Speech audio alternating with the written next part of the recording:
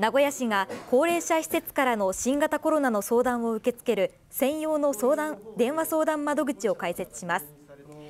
名古屋市では病床の逼迫に伴い高齢者施設の入所者が感染しても医療機関に移せないケースが増えていて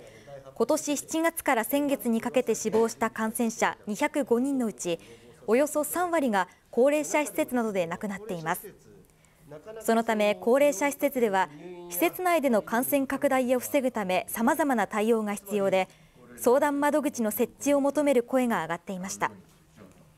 名古屋市は専用窓口を来週中にも開設する方針で看護師が電話で相談に応じます。